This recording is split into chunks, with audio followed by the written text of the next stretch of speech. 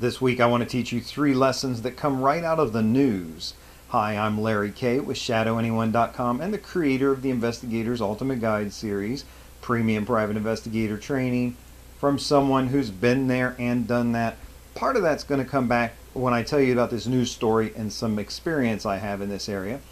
Uh, what it is is out of Washington, D.C., there was a murder, and the police had a suspect for this murder but the suspect had what seemed to be an ironclad alibi. Uh, he was wearing an, a house monitoring ankle arrest bracelet from a previous gun charge, and it showed that he was in his apartment miles away from uh, where the uh, killing actually happened. Now, the problem was, as police began to investigate, and they were pretty certain that this was the, the, the suspect who actually did it, as they begin to investigate, and, and if you're not familiar, these ankle arrest bracelets, what they do is they attach around the ankle of the of the suspect, the person the court wants to monitor.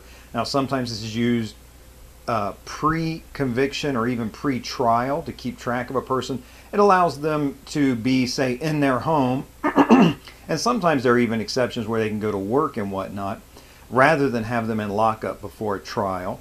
Uh, but also in post conviction, they can be used as a way of restricting the person or trying to restrict the person. So they're used a variety of ways. Um, in this particular case, the person was up on gun charges. So the bottom line is here's what happened. These ankle bracelets are designed so they cannot be cut off or tampered with.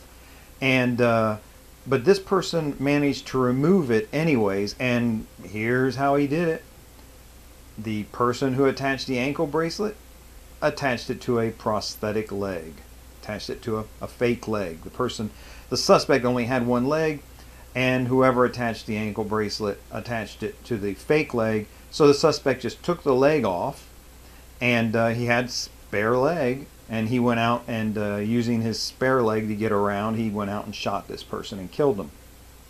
So, three lessons out of this for you. Um, there are two things directly about ankle bracelets I want you to know, and then a third thing. First of all, ankle bracelets, uh, these house arrest bracelets, uh, almost never do real time monitoring.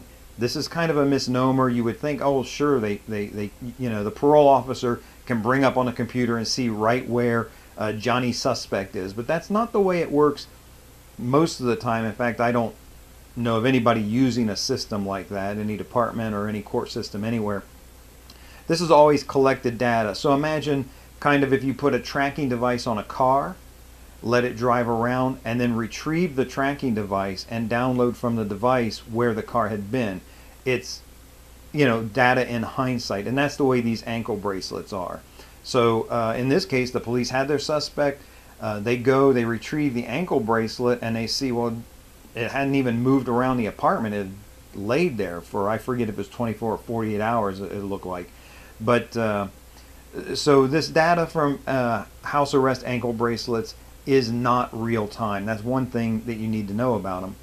Um, number two, let me check my list. I want to make sure. Oh, these can be. This is where it comes out of real life. They, they can actually be used to identify somebody. So if you are one of the loss prevention guys out there, I know this happened to me once or in any circumstance where you have a person who's got an ankle bracelet attached to them, this house arrest ankle bracelet, and they're not being forthcoming about who they are, that type of thing that's happened to me once, we were able to actually run the serial numbers on the bracelet to discover the real identity of the thief that we had apprehended. Um, and, you know, by the way, you know, he was running all kinds of stories that oh, this was voluntary. I, I no, this is not from a conviction. I'm not a bad guy. I, I asked to have this on me as a sign of trust for the people who love me in my life. And he was trying every every scam in the book, and maybe he'd be successful sometimes. I don't know. We ID'd him off the bracelet, managed to charge him and get a conviction. That's the number two thing. Uh, number one, the uh, information from these bracelets is in hindsight. Number two, you can use them to identify a person and the number three thing, and this is probably the most valuable day to day lesson for you, is just this attention to detail and doing things the way they're supposed to be done. There is a policy uh, for attaching these that the bracelet, this ankle bracelet, goes up against the skin. And while this was a civilian person, uh, an outside contractor in this case, who had attached the uh, ankle bracelet to the suspect, they clearly did not follow proper policy and they just, out of boredom, neglect, just indifference, whatever it might be, attached this to a prosthetic leg, clearly not putting the ankle bracelet up against skin as it's supposed to be when it's attached. So for you, for me, for all of us, really strong lesson in doing things the right way. Uh, and I say it every single week. I say it, do the right thing, even if it's the hard thing.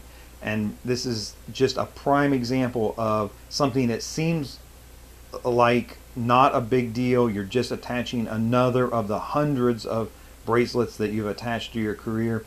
Uh, maybe the person had other things on their mind. Maybe they're trying to get out of there for lunch. It doesn't matter what. Maybe, well, I'm not going to conjecture on a lot of things. But do the right thing every single time because it does have consequences. This is Larry Kaye with ShadowAnyone.com. Remember, do the right thing, even if it's the hard thing.